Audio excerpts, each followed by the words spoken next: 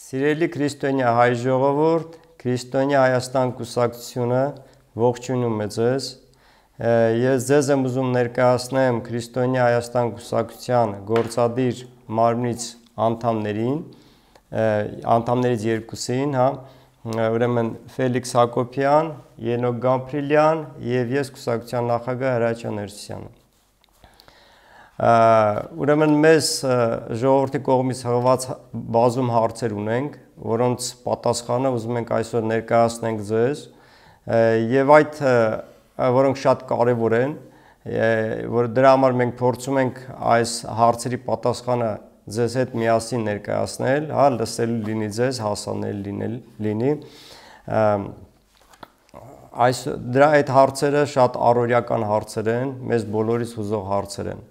Հիմա ես կընթերցեմ որ յուրաքանչյուր հարցերը եւ մենք երեքով կփորձենք այսօր սպառիչ հնարավորինս սպառիչ պատասխան տալ ձեզ։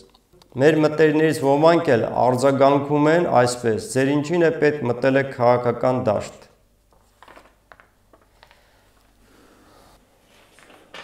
Քաղաքական դաշտ հետարքիր է, որ քաղաքականության մասին մենք բոլորը հասարակության մեջ շատ մի կարծիք կա այդպես, թե եւ իրականից այդպես էլ եղել է միջի այսօր, որ ինչ բացական երևույթներ ասեք,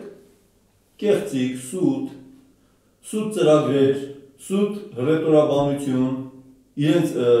ինչ որ իշխանության հասնելու համար, որը հետագայում չի կատարվում,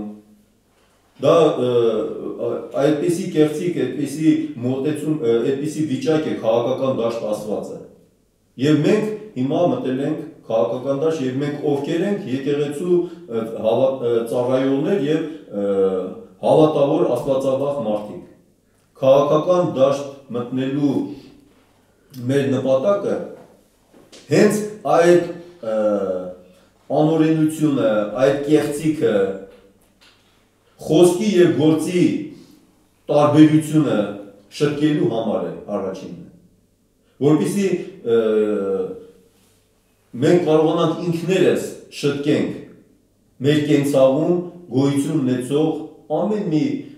վատ երևույթները